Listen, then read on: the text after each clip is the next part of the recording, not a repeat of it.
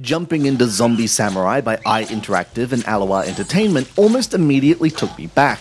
Not to some distant childhood memory of gaming, but rather to the beginning of my iOS gaming, when castle defense titles roamed the landscape like large lumbering behemoths that you couldn't escape. Sure, we see shadows of this rarefied beast now and then in other titles, but this game brings back the genre lock, stock, and barrel, perhaps as a reminder of why we've moved on.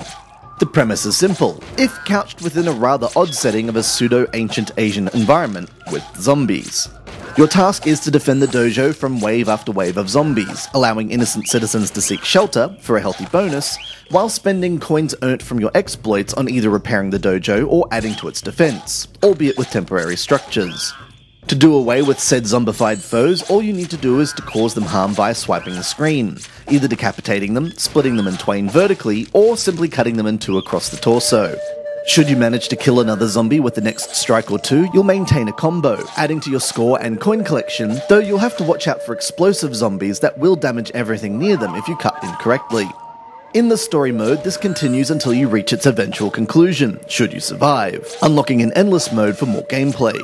New zombies with tricks such as parachuting in or firing themselves at the dojo with cannons can make finishing the game a challenge, especially on the first run where you're bound to spend your money wrong but it's an otherwise simple task, if a laborious one.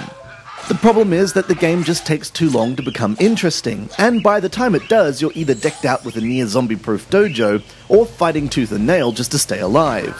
There's no real balance that feels satisfying. It's a problem common to the genre as players either master its mechanics or scratch their heads in confusion.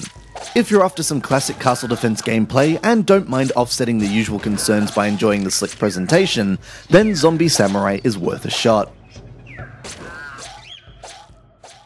This has been Andrew with AppSpy.com. We review, you decide.